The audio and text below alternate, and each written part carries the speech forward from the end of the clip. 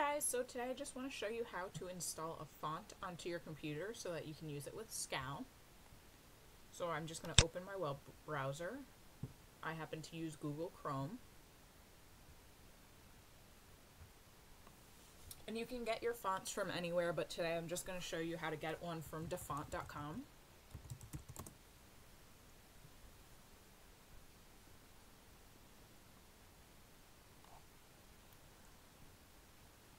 And DaFont's got a lot of great fonts. They've got a lot of personal use ones, and they also have a lot of commercial use ones. So today I'm going to show you how to get a commercial use one. So you can see they've got all of their fonts sorted in all kinds of different ways. Um, today I think I want to get something curly. So we're going to go into curly. And what I want to do is I want to see the commercial use ones. So what I'm going to do is I'm going to go to more options. And I'm going to go to 100% free. And then I'm going to hit submit. Now, of course, this method will apply for personal use ones too, so it doesn't matter what font you find, you can use this same method. I just happen to want a commercial use one today.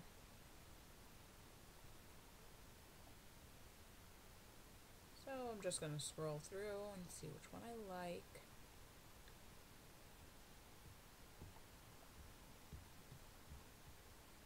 And I think one of the first ones was a winner. I'm going to download this strawberry whipped cream. I think it's kind of cute.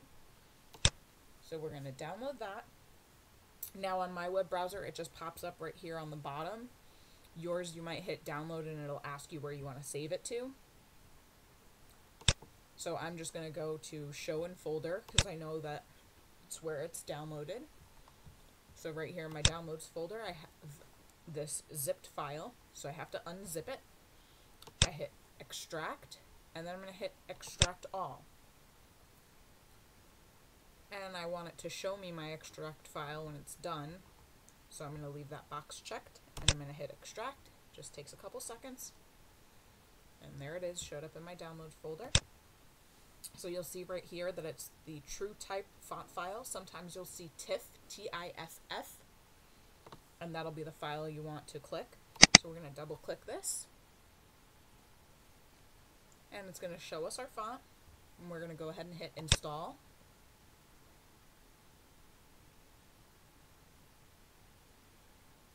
And now it's grayed out, so that tells me that it has been installed. So I'm just going to close out of these. And I'm going to open up Scal.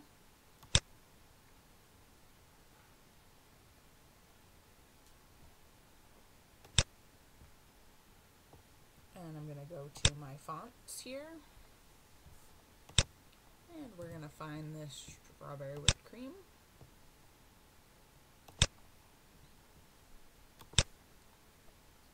And we're done.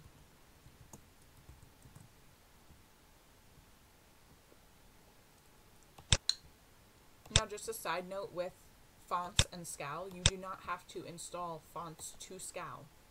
If it's on your computer, if it's installed to your computer, you can use it on Scal. That's one of the great things about it.